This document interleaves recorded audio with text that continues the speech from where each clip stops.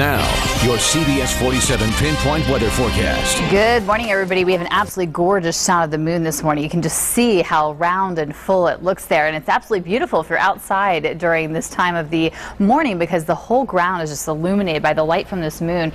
It's been called the full moon, or this full moon is called the snow moon by some of the Native American tribes because normally we have the heaviest snowfalls in February. It's also been called the full hunger moon or the little famine moon because, because of all that snow, it can be difficult to hunt this time of year. And it's also been called the full bony moon by the Cherokee who had to gnaw and sip bone marrow soup for sustenance during this time. So interesting little history on that full moon in February. Absolutely gorgeous again if you get to see that in the silvery glow outside at night. Clear skies for that and that's made for beautiful days as well. Temperatures yesterday warmed up nicely. We hit upper 60s across the valley floor and the 70s will return for us today. In fact, we did see some 70s yesterday in the Los Banos area. Got up to 72 degrees there. Saw mid 60s in Visalia and down in Porterville. Saw low 60s in the foothills and got back into the 50s for the mountains yesterday and today. Temperatures will continue to climb. We're going to see those 70s and could in fact see 80s over the next couple of days. So the warm up continues. We do have a slight chance of some showers by Sunday. We desperately need the rain. We're short about three inches,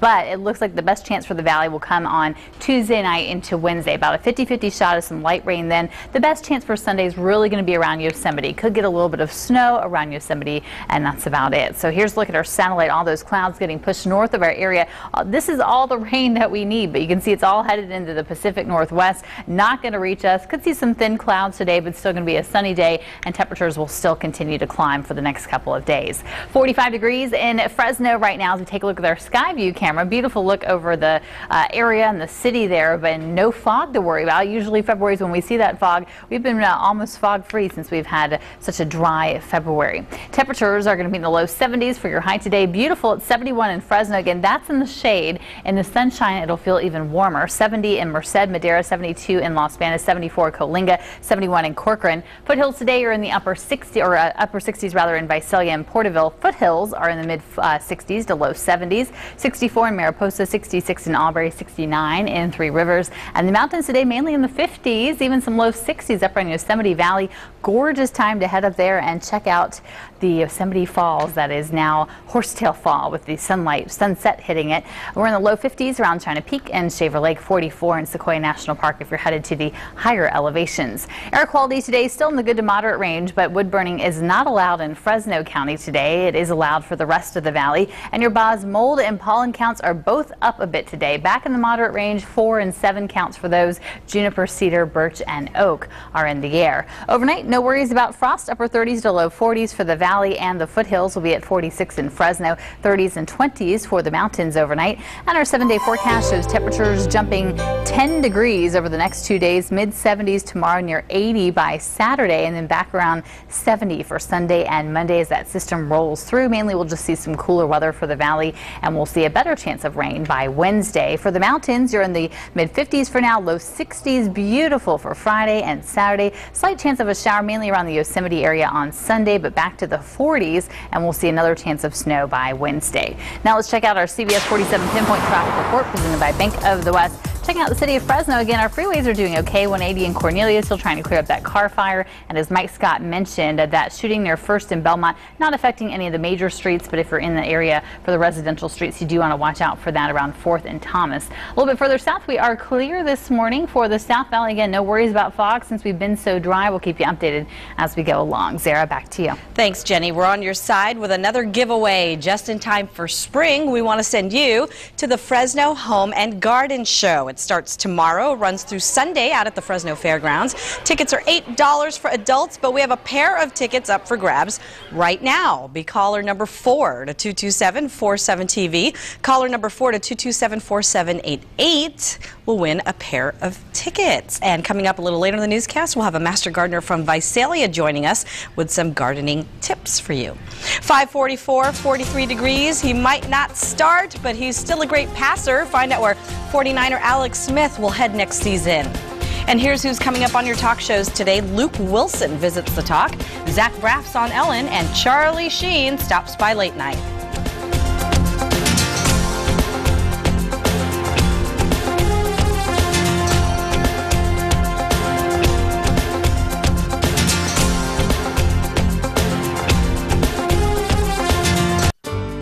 This segment of CBS 47 is brought to you by Laird Manufacturing.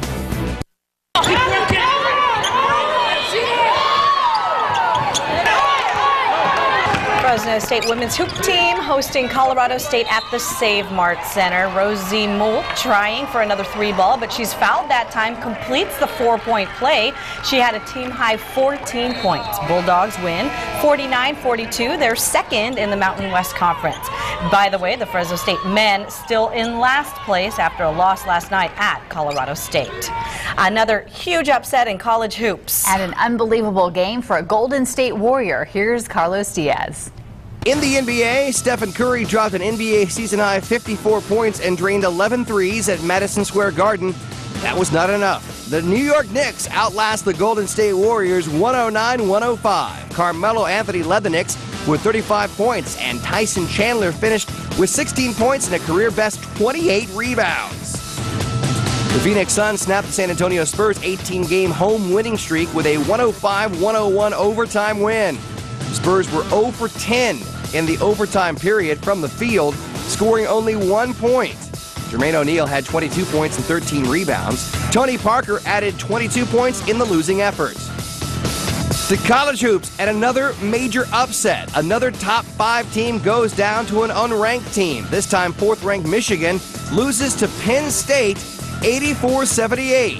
Jermaine Marshall scored 25 points, giving the Nittany Lions their first Big Ten win in more than a year.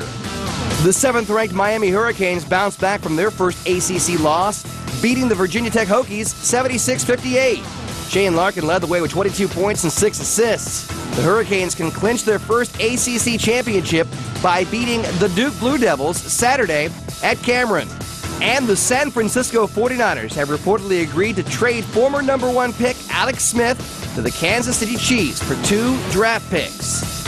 Smith lost his starting job this past season while he was sitting on the bench, sitting out with a concussion. The trade can't be completed officially until March 12th, the beginning of the 2013 league year. With Headline Sports, I'm Carlos Diaz. It's so weird. Joe Montana went to the Chiefs from the Niners. Mm-hmm. Now Alex Smith. Mm, we'll see what happens. I'm just happy we have preseason baseball back. You know, it feels like we're really getting into spring. Yeah. And then March. Madness coming up I in a few weeks. It's exciting time. 10 minutes till 6 now. We're in the low 40s.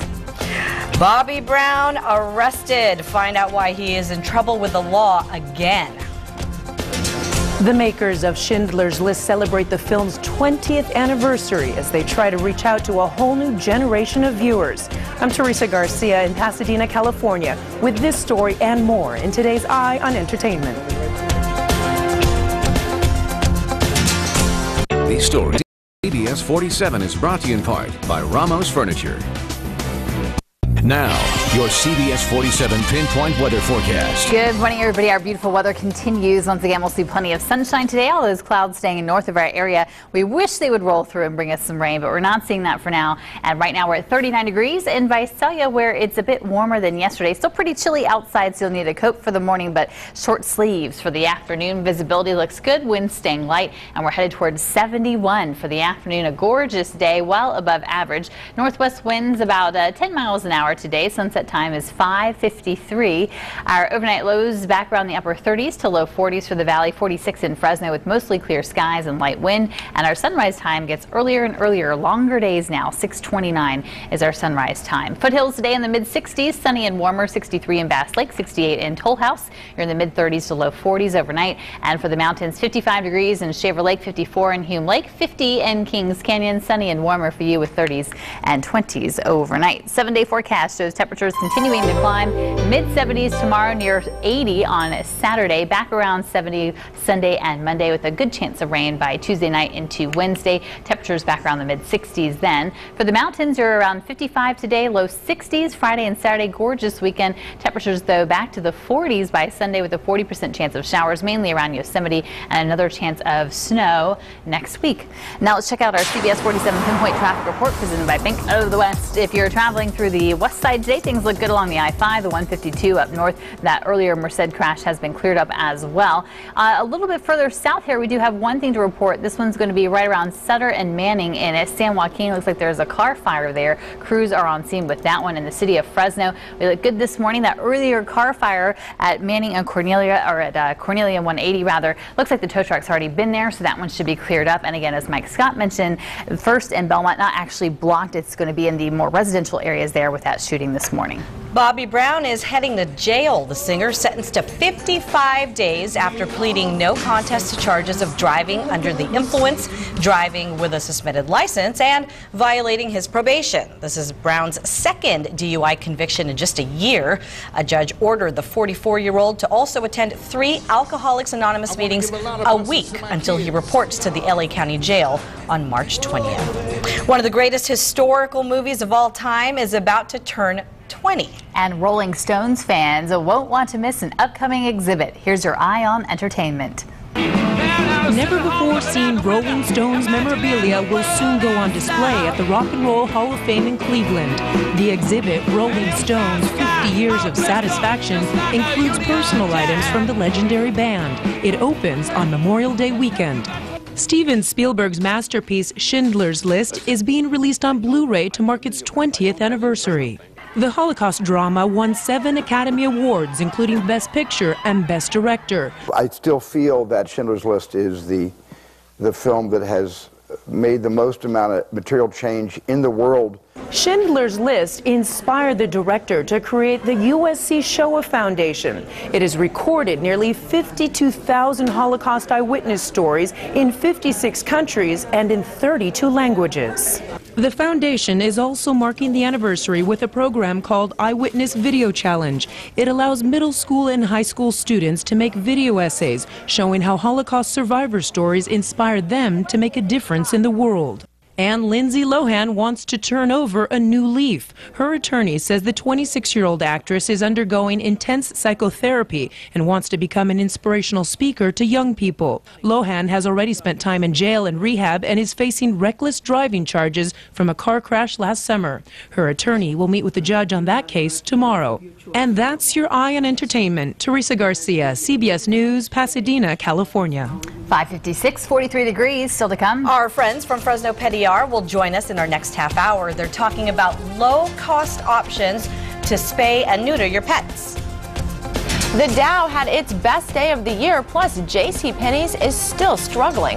I'm Ashley Morrison in New York. I'll have that and much more coming up in your CBS Money Watch report.